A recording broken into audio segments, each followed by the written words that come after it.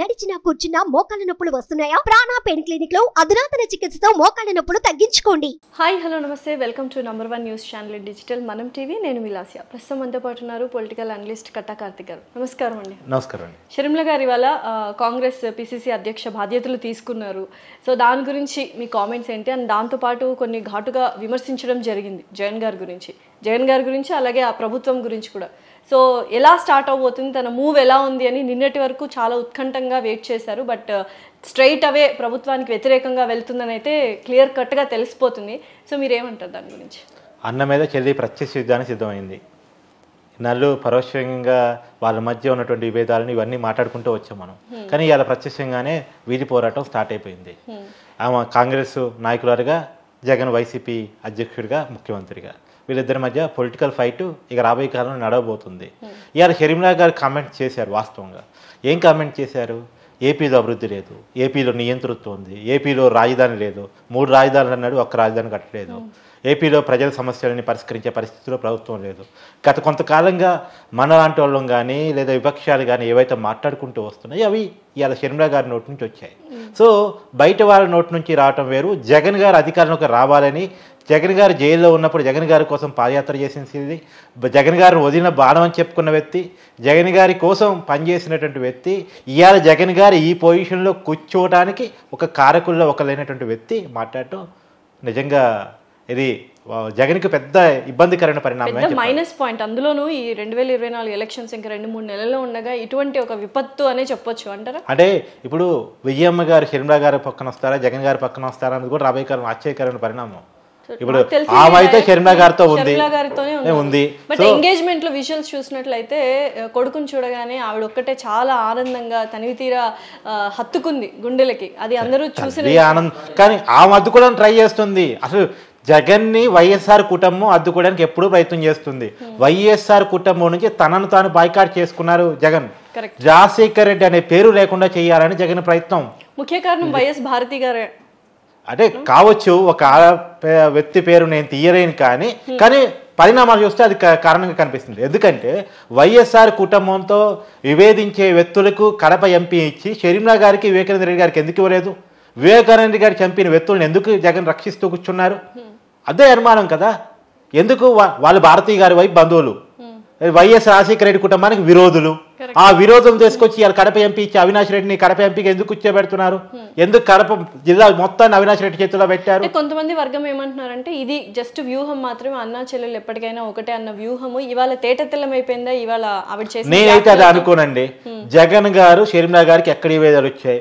అందరికీ తెలిసిన ఆస్తుల కారణాలు నిజమే ఆస్తుల కారణాలు. ఆయన ఎవరినైనా ఆస్తులు గుంజుకుంటాడు తప్ప ఇవ్వడానికి ఒప్పుకోవద్దు అది కాక రాజకీయ కారణాలు. ఆయన ఇప్పుడు రాజశేఖర్ చంపింది సోనియా గాంధీ ప్లస్ రిలయన్స్ సంస్థలు. ఈ మాట చెప్పింది ఎవరు? సాక్షి పేపరే కదా. కార్తీక్ చెప్పలేదు లేదు టీడీపీ చంద్రబాబు చెప్పలేదు లేదు జనసేన పవన్ కళ్యాణ్ చెప్పలేదు. సాక్షి పేపర్ ఎవరిది? జగన్మోహన్ రెడ్డిది. జగన్మోహన్ రెడ్డి పేపర్లో రాజశేఖర రెడ్డిని చంపింది రిలయన్స్ సంస్థలు చంద్ర సోనియా గాంధీ అని చెప్పినప్పుడు మరి రిలయన్స్ సంస్థల్లో పనిచేస్తున్న వ్యక్తికి అంబానీ కుటుంబానికి రాజ్యసభ ఎలక్షన్. చెల్లెలు షర్మిలా గారికి రాజ్యసభ ఇవ్వడానికి నీకు చేయి రాలేదు మనసు రాలేదు. కానీ అంబానీ కుటుంబానికి ఎలా ఇచ్చావు? మామూలుగా అయితే అంబానీకి ఇవ్వడానికి మనం అడ్- చెప్పం. కానీ రాజశేఖర్ రెడ్డిని ఎవరైతే చంపారని నీ నోటితో నువ్వు ఆరోపించావో వాళ్ళకి నువ్వు రాజ్యసభ ఇచ్చి ఇయర్ రాజశేఖర రెడ్డి గారి మరణం గురించి నువ్వు మాట్లాడే హక్కు ఎక్కడుంది? రాజశేఖర రెడ్డి గారి కుటుంబంతో ఆల రామకృష్ణారెడ్డి ఇవాళ షర్మిలా గారి సమక్షంలో కాంగ్రెస్లో చేరారు. ఆయన నీ కుటుంబం కోసం పనిచేసినోడు. నీ కోసం నువ్వు ఇవాళ రాజకీయంగా సీఎం సీట్లో కూర్చున్నావంటే కాపు రామచంద్రరెడ్డి గారు ఆళ్ళ రామకృష్ణారెడ్డి గారు కోటనరెడ్డి సీతారెడ్డి గారు మేకపాటి చంద్రశేఖర రెడ్డి గారు కాంగ్రెస్ పార్టీ నుంచి రాజీనామాలు చేసి బై ఎలక్షన్స్ ఎదుర్కొని ఆ రోజు అధికార పార్టీ కాంగ్రెస్ పార్టీ. ఎక్కడో జగన్ గారికి ఒక అభద్రతా భావం ఉంది. షర్మిల వస్తే సెకండ్ పవర్ పాయింట్ అయ్యే ఛాన్సెస్ ఉన్నాయి అనే ఒక భయంతోనే ఆయన ఖచ్చితంగా. ఇంకోటి ఏంటంటే ఈయన మీరు మీరన్న భారతి గారి స్కెచ్ కానీ రా జగన్ గారి వైఎస్ఆర్ అనే పేరు వినపడకూడదు జగన్ అనే పేరు తప్ప వైఎస్ఆర్ అనే పేరు వినపడకూడదు రెండోది నా కుటుంబం నుంచి నాకు వేరే అధికార కేంద్రం ఉండకూడదు. వాస్తవానికి జగన్ గారు ఊహించలేదు బీజేపీ నుంచి ఇంత ఫ్రీ హ్యాండ్ వస్తుందని చెప్పేసి. జగన్ గారు జైలుకి వెళ్తే సీఎం షర్మిలా గారిని సీఎం చేస్తారు. ఎందుకంటే ఆటోమేటిక్గా ఆ కుటుంబం నుంచే సీఎం అనుకుంటారు. ఇప్పుడు జగన్ గారు సీఎం అనే పదం ఎందుకు వచ్చింది? రాజశేఖర రెడ్డి కొడుకు కాబట్టి ఆ రోజు రాజశేఖర రెడ్డి కొడుకుగా జగన్కి ఇవ్వలేదనే కారణంతో వైసీపీ పార్టీ స్టార్ట్ అయిపోయింది.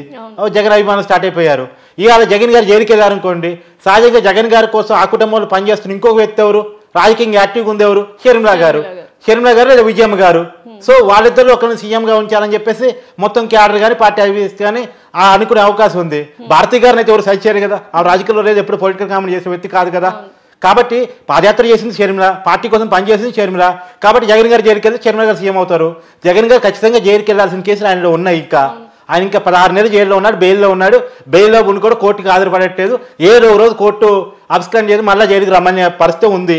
కాకపోతే బీజేపీ రక్షిస్తుంది కాబట్టి ఆయన జైలుకి పోవట్లేదు.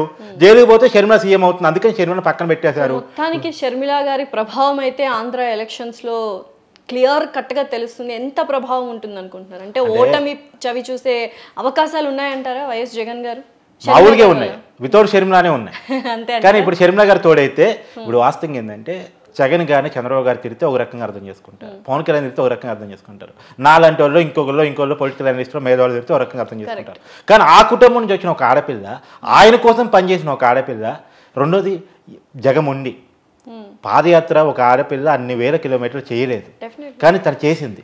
చేసి ఇవాళ జగన్ గారికి సెంటిమెంట్ వర్కౌట్ కావటంలో వైసీపీ పట్టడం నిలబట్టడంలో ఆయన సీఎం కావడంలో కీలక పాత్ర వహించింది. ఎవరండి బైబేబాబు నినాదం ఇచ్చింది? అది పోయినసారి ఎన్నికల్లో పెద్ద స్లోగన్ కదా.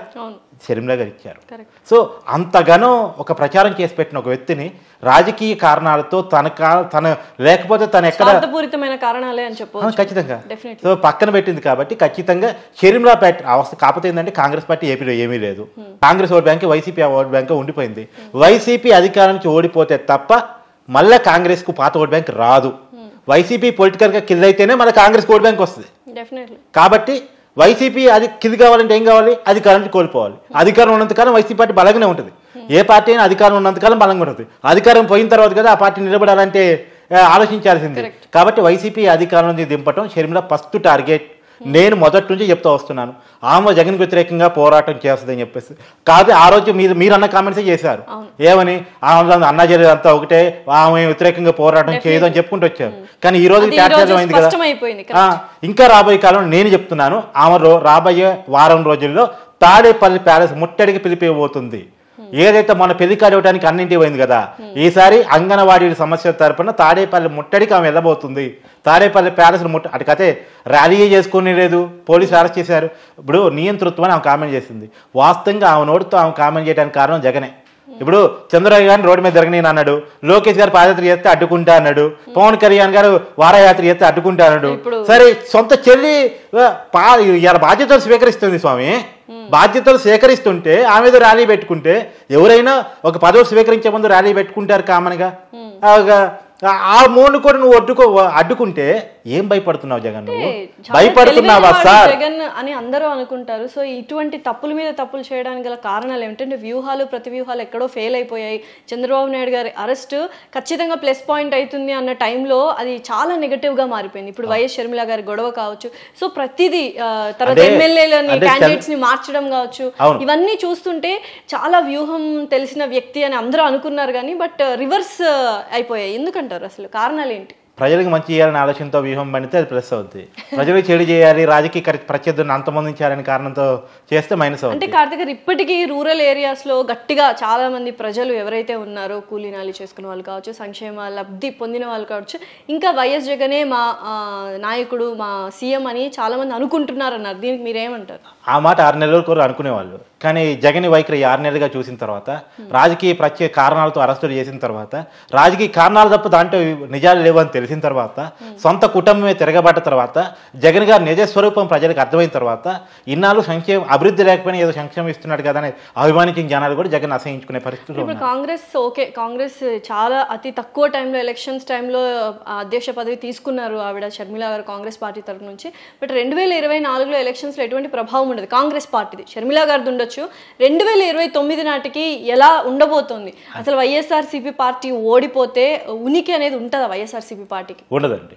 ఎందుకంటే సగం మంది వైసీపీ ఎమ్మెల్యేలు. మీకు ఉదాహరణ చెప్తాను. ఇవాళ ఆర్ రామకృష్ణారెడ్డి కాపు రామచంద్రరెడ్డి గారు కాంగ్రెస్లో చేరారు కాంగ్రెస్ పార్టీ నుంచి గెలుస్తామని ఆశతో చేరుంటారు నేను పక్కా చెప్తా. రెండు వేల ఇరవై నాలుగులో కాంగ్రెస్ ఒక సీటు కూడా రాదు ఏపీలో. కానీ. ఆమె ఎందుకు వైసీపీని ఓడించడానికి పనికొచ్చే ఆదనం వైసీపీ ఓడిపోవడానికి మాత్రమే ఆమె పనికొస్తుంది శర్మిల ఈసారికి. రెండు వేల ఇరవై తొమ్మిది నాటికి కాంగ్రెస్ ఎదగొచ్చు. ఎలా ఎదగొచ్చు? వైసీపీ ఎలా పొలిటికల్ కింది కావచ్చు అనడానికి అసలు ఏమీ లేదు అనుకున్న టైంలో ఇద్దరు ముగ్గురు వైసీపీ ఎమ్మెల్యేలు కాంగ్రెస్లో చేరుతుంటే ఇక ఈ వైసీపీ పార్టీ ఒకసారి ఓడిపోయిన తర్వాత వైసీపీ పార్టీలో ఈ రోజు వరకు వైసీపీ ఎమ్మెల్యేలు ఎందుకుంటున్నారంటే అధికారం ఉంది కదా అని అనుకుంటున్నారు. అధికారం లేదు అన్న మరుక్షణం జగన్ గారితో ఒక్కళ్ళు కూడా ఉండలేరు. మేబీ భారతి గారు తప్ప. అంతే. సజ్జల రామకృష్ణారెడ్డి గారితో సహా ఎవరు ఉండరండి? ఎందుకంటే జగన్ గారి మెంటాలిటీ అది. మహా అంటే మిగిలితే నేను ఇప్పుడు చెప్పిన సజ్జల రామకృష్ణారెడ్డి గారు మిగులుతారేమో. సజ్జల గారు భారతి గారు జగన్ గారు ఈ ముగ్గురు భజన పాడుకోవాల్సిందే. సో కాంగ్రెస్ వైసీపీ యుద్ధం వల్ల ఇక్కడ ఎక్కువగా లబ్ధి పొందింది ఎవరంటే చంద్రబాబు నాయుడు గారు అనుకోవచ్చా? అంటే? కాంగ్రెస్ వైఎస్ఆర్సీపీ వీళ్ళిద్దరి యుద్ధం అంటే అన్నా. యుద్ధం వల్ల వైఎస్ టీడీపీ పార్టీకి వాళ్ళకి లబ్ధి కాదు ఈయనకి మైనస్ అవుతుంది. ఈయనకి మైనస్ అవటం వల్ల ఆయన లబ్ధి అని మీరు అలా ఆలోచించొద్దు. ఒక సొంత చెల్లి ఎందుకు ఎదురు తిరిగి పోరాటం చేస్తుంది? ఒక ఆడబిడ్డ ఎందుకు రోడ్డు మీదకి వచ్చింది? సొంత పొలిటికల్ పార్టీని ఎందుకు ఏర్పాటు చేసుకోవాల్సి వచ్చింది? తర్వాత ఆ సొంత పొలిటికల్ పార్టీని కాదని మరి కాంగ్రెస్ యూనియన్ చేసి ఏపీ రాజకీయాల్లోకి ఎందుకు ఏలు పెట్టాల్సి వచ్చింది? పాపం తను ఏపీ రాజకీయాలు ఏలు పెట్టొద్దు అనుకున్నది తన సోదరుని గెలకొద్దు అనుకుంది. చాలా కాలం రాజీ పట్టని తనంత తను ట్రై చేసింది. కానీ ఎంతసేపటికి ఆర్థిక కారణాలతో రాజకీయ కారణాలతో వేధిస్తున్న అన్నం చూసిన తర్వాత అతను అన్నం చూసుకోలేకపోయింది. అందుకని ఎదురుగా ఉన్నటువంటి నారావారి కుటుంబంలో బ్రదర్ను చూసుకుంది నారా లోకేష్ని. నా బ్రదర్ అని చెప్పుకుంది. అంటే ఎదురు కుటుంబంలో బ్రదర్ను చూసుకోవటండి సొంత కుటుంబంలో అన్నని కాదంటుంది సహజంగా చెల్లెళ్ళు అన్నని ఎప్పుడు వదులుకోరండి. వీలైనంత వరకు వదులుకోడు ఆడపిల్ల మనసు చాలా. సున్నితమైనది. కానీ వన్స్ దాని ప్రభావం పడిందంటే మాత్రం అది ఎవరు ఆపలేరు. డెఫినెట్లీ చూద్దాం మరి ఎటువంటి ప్రభావం ఉంటుంది షర్మిల గారిది అండ్ జగన్ గారు కోరి తెచ్చుకున్న పతనం అని కోరుకోవచ్చు అనుకోవచ్చు మనము. చూద్దాం వేచి చూద్దాం. Thank you so much Karthik garu.